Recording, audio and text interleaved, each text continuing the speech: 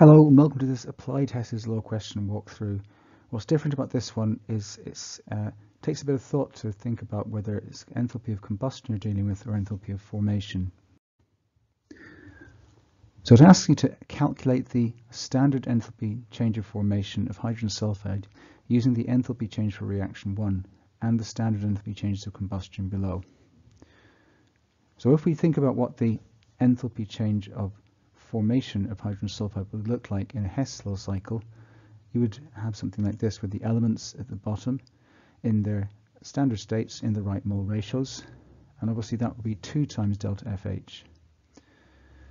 So in a Hess's law cycle, if you're given delta CH, normally what would happen is you'd point the arrows downwards, and in the box here you'd have the, the oxides like H2O, like SO2 for example. So why is it the way around? Well, if you look carefully, you can see that the other compounds in the reaction, the products, are also combustion products.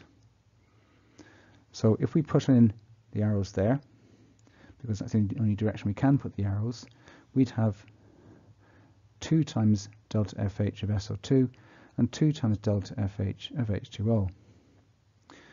Now, you might have noticed that the data in the question is delta CH, so why am I talking about delta FH all of a sudden?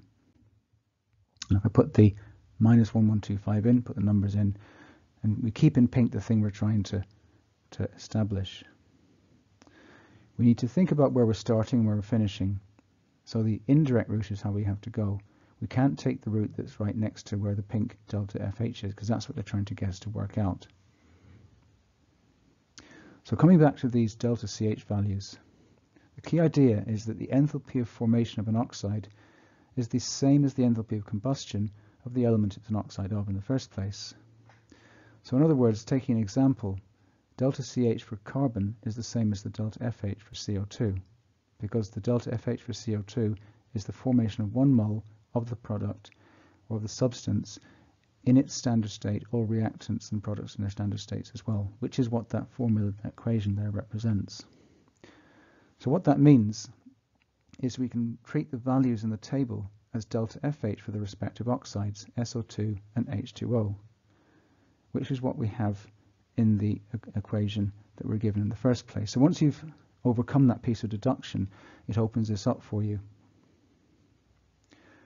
So putting the numbers into a calculation, we're clearly making 2 delta FH of H2S the subject. We can do the dividing to divide it down to 1 times delta FH in a moment.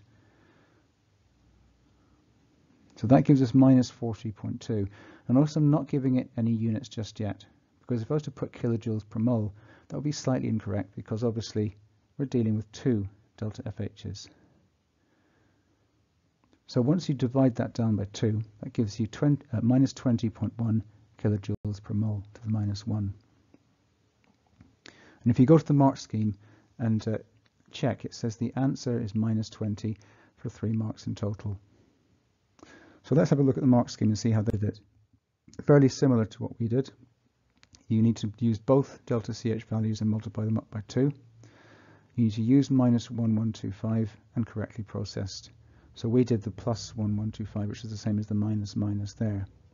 And you divide it by 2 at the end, which gives you minus 20.1, which is minus 20 is what they put. Okay, thanks for listening. Until next time, see you soon.